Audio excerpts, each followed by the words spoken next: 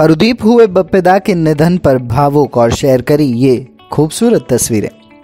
जी हाँ सो सम्राज्ञी लता मंगेशकर के जाने के बाद भारत ने एक अनमोल रत्न बप्पेदा को खो दिया है। उनके इस दुनिया से जाने की खबर सामने आने के बाद संगीत जगत से लेकर बॉलीवुड इंडस्ट्री में हर कोई शोक में डूबा है।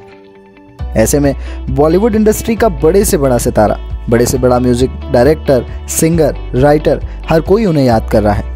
और इंडियन आइडल सीज़न 12 से फेम पाने वाले पवनदीप, राजन और अरुणता कांजीलाल ने भी अपनी बपिदा से जुड़ी ये छोटी सी याद पेश की है। अरुणता कांजीलाल ने जब मेहमान बनकर आइडल सीज़न 10 में बपिदा आए थे, वो स्पेशल कॉन्ट्रैक्ट दिखाया है। आपको पता होगा कि अरुणिता की काबिलियत से खुश होकर बपिदा ने उन्हें ये कॉन्ट्रैक्ट साइन करवाया था। तो वहीं पवनदीप, राजन ने भी लता जी और बपिदा की ये बहुत पुरानी तस्वीर शेयर की है। और इस तरह से इन दोनों ने, इन लेजेंड्स को याद किया है।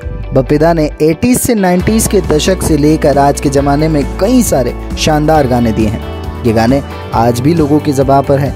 ऐसे में भले बपिदा अपने चाहने वालों को छोड़कर चले गए हों, लेकिन वो अपने गानों के ज़रिए हमेशा अमर रहेंगे।